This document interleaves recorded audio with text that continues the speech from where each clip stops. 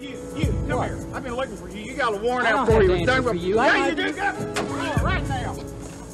You're not gonna fight me, you understand me? What's this all about? You? I told you, you got a warrant out for you. From who? The Duncanville Police Department. Hey, I got rights, you Yeah, know? you got rights. You got the right to remain silent. Anything you say can't in problem with I, I don't have to answer to you. You know that? I don't have to answer to you. We're not gonna put up with